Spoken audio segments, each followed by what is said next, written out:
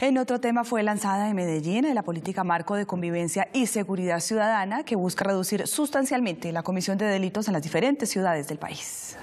El presidente Iván Duque eligió a Medellín para el lanzamiento de esta política pública por sus avances en materia de seguridad, que hoy son referente por los resultados operativos contra la delincuencia.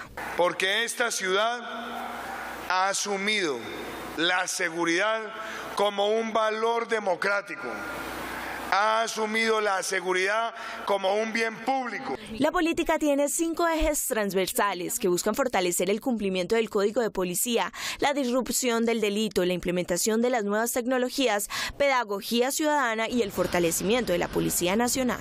Digamos que eso ayuda con el turismo, eh, aparte la gente se siente como más segura cuando va como a sus trabajos, a la universidad. Es algo positivo para la ciudad, ya que pues hay lugares donde no hay tanta seguridad como tal.